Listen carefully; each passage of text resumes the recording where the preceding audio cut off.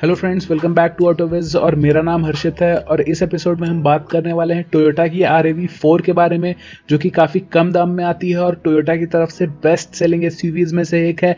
आपको बता दूँ कि वर्ल्ड वाइड ये बहुत ही ज़्यादा पॉपुलर एस है टोयोटा की।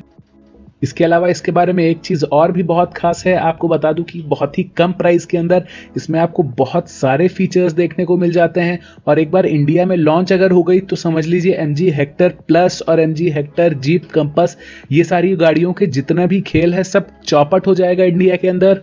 तो दोस्तों, कुल मिला के हम बात करने वाले हैं टोयोटा की आर फोर के बारे में। इसमें क्या क्या चीज़ें मिल जाएँगी, वो सारी मैं आपको बताने वाला हूँ। इसके अलावा एक रिक्वेस्ट आप लोगों से है, पहली बार मैं किसी वीडियो में लाइक टारगेट रखने वाला हूँ तो वो लाइक टारगेट प्लीज़ ज़रूर पूरा कर दीजिएगा और इस वीडियो का लाइक टारगेट रखा जाए पचपन लाइक्स का तो प्लीज़ दोस्तों, ज़रूर से लाइक कर दीजिएगा। अब ये जो टोयोटा की आर फोर है, आपको बता दूँ कि वर्ल्ड वाइड बहुत ही ज़्यादा पॉपुलर एस है और अब हर महीने इसकी लाखों यूनिट्स बिक जाती हैं। इतनी ज़्यादा पॉपुलर है ये। मतलब इसकी पॉपुलैरिटी का अंदाज़ा आप इसी चीज़ से लगा सकते हैं कि जितने भी ऑटोमोबाइल क्रिटिक्स हैं, इसके अलावा मैगजीन्स वगैरह हैं, सब ऑलमोस्ट चार से पाँच की रेंज के बीच में इसको पॉइंट्स देते हैं। तो ये कितनी ज़्यादा पॉपुलर और सक्सेसफुल है, इसी चीज़ से अंदाज़ा लगाया जा सकता है। और इसके अलावा जो टोयोटा का रिस्पॉन्स है इंडिया में लॉन्च को लेकर, वो बहुत ही ज़्यादा पॉजिटिव है। तो आप आने वाले एक से डेढ़ साल के अंदर अंदर इसको इंडिया के अंदर ज़रूर देख पाएँगे। और एक बार ये लॉन्च हो गई ना दोस्तों अगर तो समझ लीजिए एम जी हेक्टर की और जीप कंपस की सेल्स एकदम डाउन हो जाएगी ज़ीरो हो जाएगी। ये गारंटीड है। अब सबसे पहले बात कर लीजिए अगर आर ए के परफॉर्मेंस के बारे में तो यहाँ पे आपको बता दूँ कि इसमें 2.5 लीटर्स का आपको फोर सिलेंडर पेट्रोल इंजन देखने को मिल जाता है। और अगर बात करी जाए पावर आउटपुट के बारे में तो काफ़ी ज़्यादा पावरफुल इसमें इंजन मिल जाता है। इसके सेगमेंट के हिसाब से 203 bhp की पावर जो है आराम से प्रोड्यूस कर लेता है ये इंजन दोस्तों टोयोटा जो है वो सिर्फ़ और सिर्फ़ इतने पावरफुल इंजन के साथ संतुष्ट नहीं हुआ था। इसके अंदर आपको इसके अलावा मिल जाएगा एक हाइब्रिड सिस्टम भी। तो कितनी बढ़िया बात है आप। देखिए कंपनी ये भी क्लेम करती है कि इसमें जो आपको माइलेज मिल जाता है, वो ऑलमोस्ट 18 के आसपास का मिल जाता है। इसके अंदर आपको मिल जाता है केवल एक ट्रांसमिशन ऑप्शन जो कि ऑटोमेटिक वाला है, जो कि काफ़ी लैग फ्री और बढ़िया बताया जाता है। आर ए वी फोर बहुत ही ज़्यादा पावरफुल गाड़ी है, जैसा कि मैंने आपको ऑलरेडी बताया। इसके अलावा इसका जो एक्सेलरेशन है, वो भी बहुत ही ज़्यादा अच्छा मिल जाएगा आपको।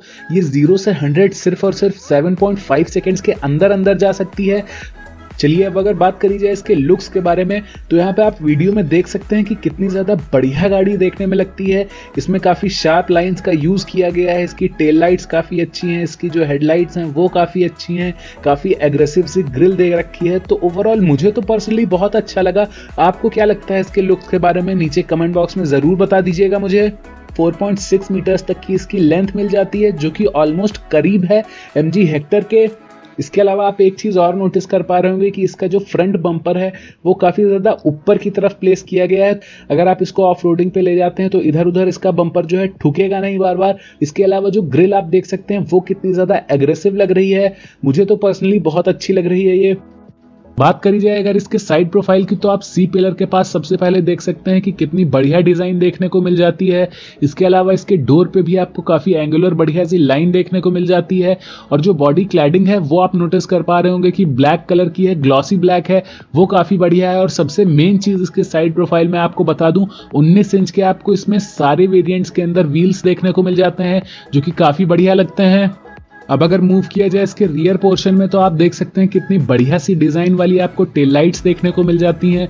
और सबसे इंटरेस्टिंग पार्ट इसके बैक में मुझे जो लगता है, वो एक पट्टी जो क्रोम की आपको देखने को मिल जा रही है, वो काफ़ी बढ़िया देखने में मिल जाती है। इसके अलावा फॉक्स स्किट प्लेट है ग्लॉस फिनिश के आपको जो बम्पर है, वो देखने को मिल जा रहा है। तो काफ़ी बढ़िया ओवरऑल मुझे देखने में लगता है इसका बैक इसके बैक में आप डुअल एग्जॉस्ट टिप्स भी नोटिस कर पा रहे होंगे। हालाँकि देखने में उतनी अपीलिंग नहीं है, लेकिन फिर भी काम चल जाता है।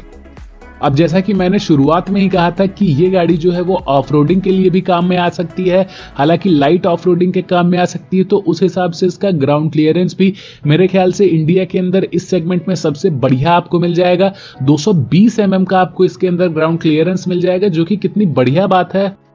तो चलिए अब मूव करते हैं इसके इंटीरियर की तरफ़, और सबसे पहले आपको यहाँ पे बता दूँ इंटीरियर इसके काफ़ी आपको बेसिक से देखने में मिल जाएँगे, लेकिन फीचर आपको सारे देखने को मिल जाएँगे।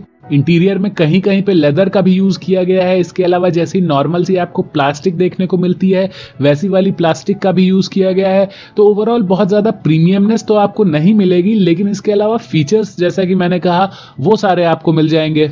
सबसे पहले अगर इसके इन्फोटेनमेंट सिस्टम के बारे में कुछ बताऊँ तो आठ इंच का इसमें काफ़ी बढ़िया सा आपको इन्फोटेनमेंट सिस्टम देखने को मिल जाता है, जिसके अंदर सारी ही आपको कनेक्टेड कार वाले जो भी फीचर्स हैं, वो सारे देखने को मिल जाएँगे। तो ये एक मेरे ख्याल से काफ़ी बढ़िया चीज़ है, और अब तो मेरे ख्याल से ये चीज़ एक कंपलसरी हो गई है। इसका जो इंस्ट्रूमेंट क्लस्टर मिलता है, वो भी आपको सेमी डिजिटल देखने को मिल जाएगा। इसमें जो आपको फ्रंट सीट्स देखने को मिल जाएँगी, वो वेंटिलेटेड सीट्स हैं और काफ़ी बढ़िया सपोर्ट के साथ आती हैं, जिसे लंबर सपोर्ट कहा जाता है। इसके अलावा पेनरमिक सनरूफ देखने को मिल जाएगी, काफ़ी बढ़िया देखने में लगती है। पावर मून रूफ है।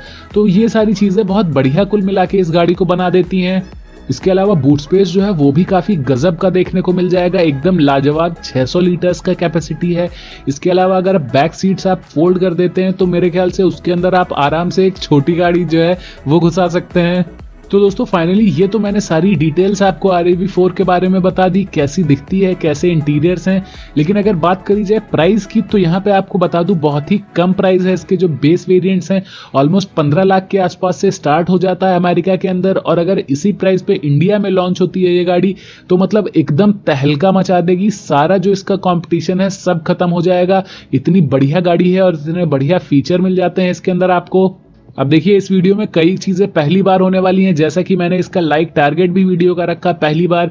इसके अलावा मैं ऑटोविज रेटिंग अगर इस गाड़ी को दूँ, पहली बार किसी गाड़ी को मैं देने जा रहा हूँ तो ऑलमोस्ट आप मान के चलिए 4.5 के आसपास ज़रूर दे दूँगा, क्योंकि देखिए, इसमें कई चीज़ें आपको मिसिंग मिल जाएँगी। इंटीरियर थोड़े से कम आपको जो है प्रीमियम देखने को मिलेंगे। इसके अलावा कई फीचर्स भी मिसिंग मिल जाएँगे। तो इस वजह से मैंने हाफ़ पॉइंट काट लिया है अगर ये इसी प्राइस पर यानी कि पंद्रह लाख के आसपास, पंद्रह से बीस लाख के आसपास भी इंडिया में अगर लॉन्च हो जाती है तो मेरे ख्याल से बहुत ही बढ़िया होगा ये।